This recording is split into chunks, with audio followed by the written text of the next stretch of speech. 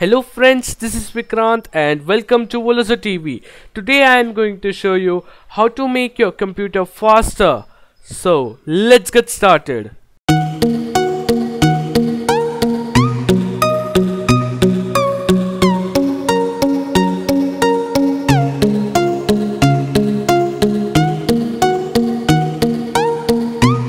So the first step is to open notepad.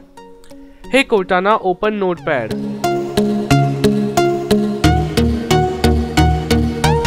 After that you need to copy this code from the description of this video and then click on file and then click on save as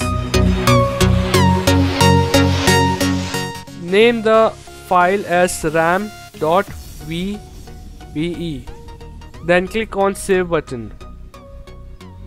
Close this window.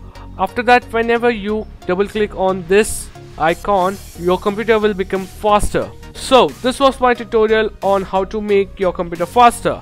If you like this video hit the like button. If you have any questions or queries ask me in the comments below. Follow me on Twitter and Google Plus and don't forget to subscribe. Thank you.